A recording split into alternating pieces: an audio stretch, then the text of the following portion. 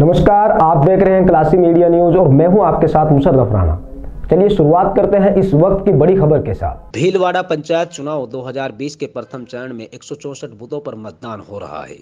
वहीं आपको बता दें कि शांतिपूर्ण और निष्पक्ष मतदान के लिए भीलवाड़ा पुलिस ने पहली बार पोल कोप सॉफ्टवेयर के माध्यम से तीन चरण में होने वाले मतदान के एक हज़ार अड़तीस मतदान बूथों पर पैनी नज़र रखी है। स्वनिर्मित पोल कप सॉफ्टवेयर के माध्यम से सुपरवाइजरी अधिकारियों ने अपने अपने क्षेत्र में सिंगल क्लिक में ही किसी भी प्रकार की जानकारी प्राप्त कर सकते हैं।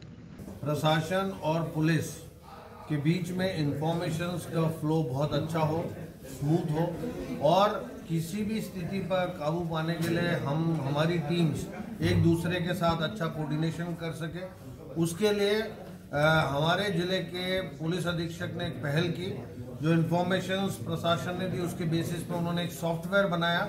उस सॉफ्टवेयर के आधार पर आप उसमें जो भी पंचायत समिति है, वहाँ कितने बूथ्स हैं, उसका नक्शा आता है। उस नक्शे पे किसी भी बूथ पर क्लिक करते हैं तो वहाँ पर जो मोबाइल टीम लगी हुई है, उसके फ़ोन नंबर जो वहाँ पर चुनाव निर्वाचन लगे हुए निर्वाचन के कार्य में जो जो अधिकारी लगे हुए उनके फ़ोन नंबर्स, उस गाँव के मोतबीर जो हैं, उनके नंबर्स, और इवन हर बूथ से दूसरे बूथ की लोकेशन पर कितने डिस्टेंस पर है, कितना टाइम लगेगा, जिस तरह जोनल मजिस्ट्रेट और मोबाइल मजिस्ट्रेट मोबाइल टीम्स को हमने एक एक गाड़ी दे रखी है, और उनके पास दो दो लोकेशंस हैं उस लोकेशंस पर एक दूसरे से अच्छा कोऑर्डिनेशन कर तत्काल ये पता किया जा सकता है कि उस बूथ पर कौन निर्वाचन अधिकारी है, कौन पीठासीन अधिकारी है, किससे हमें बात करनी है। सिचुएशन का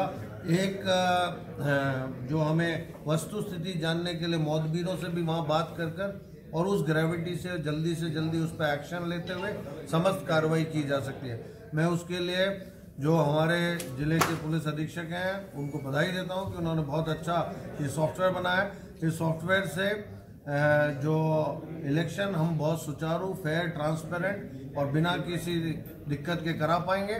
और साथ ही, जो प्रशासन और पुलिस का कोऑर्डिनेशन है, इससे बहुत बेहतर रहेगा और जो इन्फॉर्मेशन फ्लो है, वो बहुत बेहतर और सुचारू रहेगा।